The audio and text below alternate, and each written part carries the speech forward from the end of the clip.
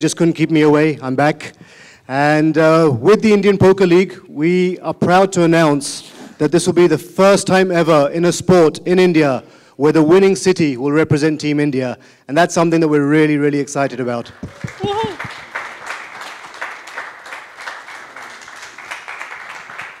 Would you mind staying here, please? Um, we'd now like to introduce the team owners in alphabetical order. And uh, could we have the owner of Ahmedabad Hearts, Mr. Yatin Gupta, please come on stage? it's a mind game, and I think uh, it's a great idea in India. So, all the best to you and to me. Gaurav is a man of few words, he's a doer. Thank you. Um, I'd like to call the, uh, the owners of the Delhi Aces, please, on stage. Grab all the uh, owners, please. Mr. Katan, Ankur, Chandru, please. Let's get the whole team up, everyone. Let's see everyone. And can I have on stage the uh, owners of Mumbai All Stars, Mr. Harman Baweja, Mr. Muiz Khan. This team has a lot to live up to, a lot.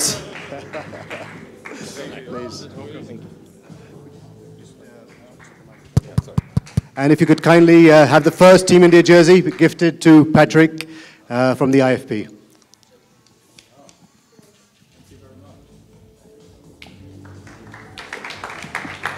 Afternoon. Great question. Um, so we start, obviously, we're promoting amateur poker from right from the grassroots levels. We have uh, Indian Federation. Varun is uh, in charge of the Indian Federation. We have lots of uh, organizations across the country that are going to promote the Match Poker app. So we want everyone to take part, people who understand poker at a basic level, start growing. Um, we are going to nurture a lot of talent. There'll be a lot of offline poker events that are happening uh, with the Federation collectively. And uh, ultimately, I mean, it can become a sport where an individual who's good at it can get into a paid professional uh, uh, sport where he can make a livelihood out of poker in India. So. A very good evening to everyone. Um, yes, so what was the question? um, in comparison to all these sharks, so I'm just going to take a backseat and just watch. But um, I have to take the opportunity to congratulate Raj. I feel very proud as a wife that he comes up with these really innovative ideas and wants to do things before everyone else, uh, you know, actually ahead of it, you know, ahead of times. And uh, whether it be SFL or even investing in the IPL, I think he, he's someone with a lot of foresight. And um, yes, I am a poker player, but not uh, with the ranks of all of these. Um, I was introduced to poker because of uh, Shane Warne, and I understood that it was a game of skill, um, contrary to the belief that it has a lot to do with gambling.